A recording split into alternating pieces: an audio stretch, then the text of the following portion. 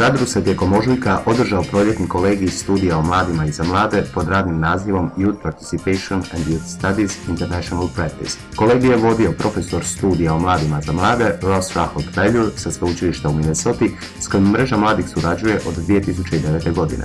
Kolegiju je prisustvovalo 15 sudionika iz različitih organizacija mladih i za mlade iz cijele Hrvatske.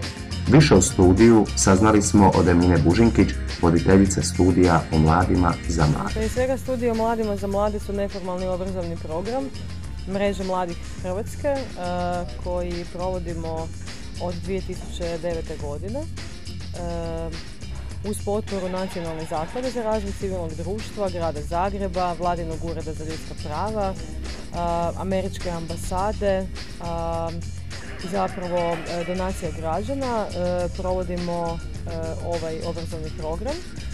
Dakle, sada već ćemo ići u treću godinu. Do sada smo održali dvije studijske godine. Sam program sastoji se od dva dijela. Jedan se tiče edukacijskih modula na kojima dosta radimo i u samoj pripremi i izvedbi.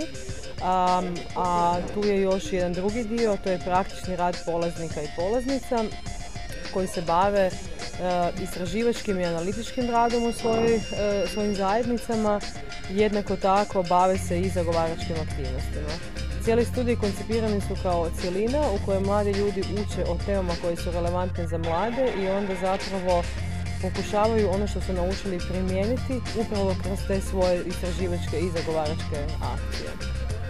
E, studiji e, se provode kroz edukacijske module e, čije su teme političko, odnosno građansko obrazovanje, odnosno možemo reći i obrazovanje mladih za ljudska prava i, i demokratsko građanstvo, odnosno građanski aktivizam. Jedna od tema na koju smo dosta fokusirani jest rad s mladima u zajednici e, ili što bi se reklo youth work, gdje nam je naglasak na kompetencije onih koji rade sa mladima, a jednako tako i poticanje usvajanja i primjene vještina mladih e, u zajednici.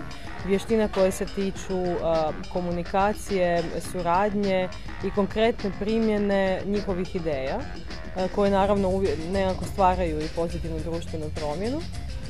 Osim toga tu su i teme e, kao što je sudjelovanje mladih u procesima donošenja odluka i javno zagovaranje. To je zapravo e, modul u kojemu sve ono što smo negdje prije čuli kroz teoriju i proradili kroz neki set edukacijskih metoda koje jesu praktičnije naravi, gdje oni zapravo konkretiziraju stvari i formuliraju svoje ideje i e, artikuliraju, uče artikulirati i zagovarati upravo te ideje u svojim zajednicama. Radi se dakle o obliku participativnog iskustvenog učenja e, koji ne samo da je fokusiran na znanja kao što je većina nastavnog sadržaja kod nas fokusirana, nego je upravo fokusirana i na metodiku e, koja je dakle metodika participativnog učenja, ali i na suradnji sa organizacijama civilnog društva i lokalnom zajednicom.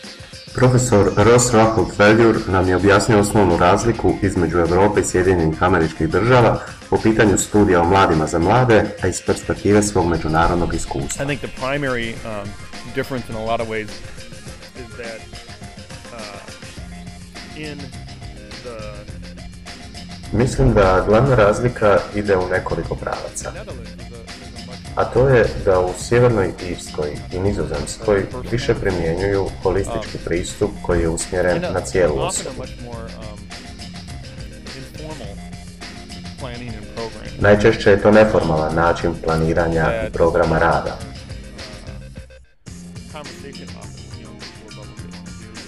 što uključuje puno više razgovora s mladima o tome što i na koji način oni žele.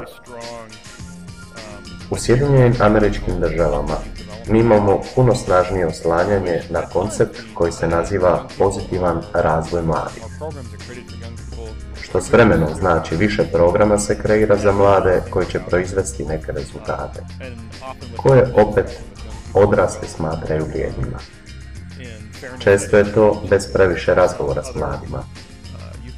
Iako se u zadnje vrijeme i to mijenja, pojavljuju se i neke nove teorije o razvoju mladih koje zaista osnažuju konverzaciju, interakciju i suradnju s mladima. Um, Ja mislim da su osnovne postavke našeg rada u Sjedinjenim američkim državama temeljene na psihološkom okviru u korijenu, a Europa, posebice Sjeverna Irska i Nizozemska, naglasak daju na obrazovnom okviru. In 2010, the Croatian Youth Network started U 2010. mreža Mladih Hrvatske je pokrenula studij o mladima za mlade ovdje u Republici Hrvatskoj kao neformalan program. Kako je vaše mišljenje o tome i mislite li vi da je on koristan? Yeah, I mean, I have uh, four days of experience with it. Za sad imam samo četiri dana iskustva ovdje i u ovom trenutku, ali što sam vidio to je da je zaista odličan program. Mislim da je to i fantastična prilika koja se nudi i otvara prostor za razmišljanja o takozvanim teškim temama.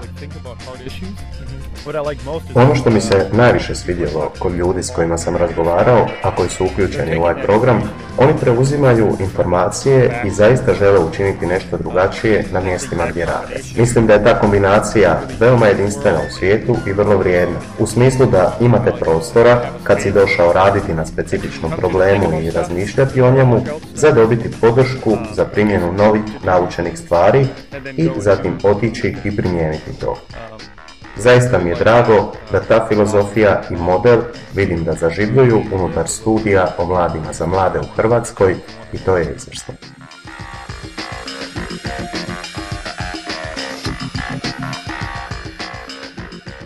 Naš novinar je razgovarao s Antonijom Krajina, jednom od sudionica studija o mladima za mlade. Dakle, baviš se već youth workom i radom s mladima, pa možeš li mi reći zašto si se odlučila prijaviti na studij o mladima za mlade? Pa u principu zato što s obzirom na vaše ciljeve, na vaše iskustvo kao mreže Mladih Hrvatske, svidio mi se fokus koji oni stavljaju na rad s mladima, važnost koju tome pridaju. Vidjela sam modul od prošle godine, svidio mi se sadržaj, svidio mi se sadržaj i ove godine i jednostavno sam smatrala da će mi koristiti u mom budućem radu u udruzi. Ok, a možeš mi reći koja si znanja i vještine e, stekla tijekom studija? Um, pa ovako, ono što mi se zapravo svidjelo je jedno područje, ja inače dolazim, ja sam završila, ja sam profesorica, pa nisam imala neka specifična znanja s kojima se e, recimo susrećemo u radu e, kao nevladina organizacija. E, to mi se svidjelo znači što sam mogla razmijeniti iskustva s ljudima, saznati neke konkretne informacije baš o radu nevladinih organizacija. E, svidjelo mi se to što u principu sam po prvi put doista se dotakla teme obrazovanja za demokratsko građanstvo, što sam saznala više o tome sa različitih aspekata, ne samo teoretski nego i iskustveno, jer ste ponudili različiti tip predavača, znači em, i ljudi koji se bave teorijom, ali i ljudi koji su u tom e, znači, praktično. Koja je još vrijednost ovog programa, odnosno što si još stekla osim tih nekih znanja i vještina koje si ovdje dobila? Pa ono što mi je zapravo omogućilo je da se povežem s ljudima e, s kojima vjerovatno inače ne bi mogla u ovolikom intenzitetu, odnosno u ovakvom intenzitetu, e, zato što je studiji su okupili e, nas recimo 15 do 20 mladih koji se svi bavimo e, s istim poslom, ali ne u svim aspektima isto. Znači svi, se, svi radimo s mladima, ali ne na isti način. I to mi je zapravo možda i najvrijednije iskustvo zato što sam dobila uvid u, u njihov rad.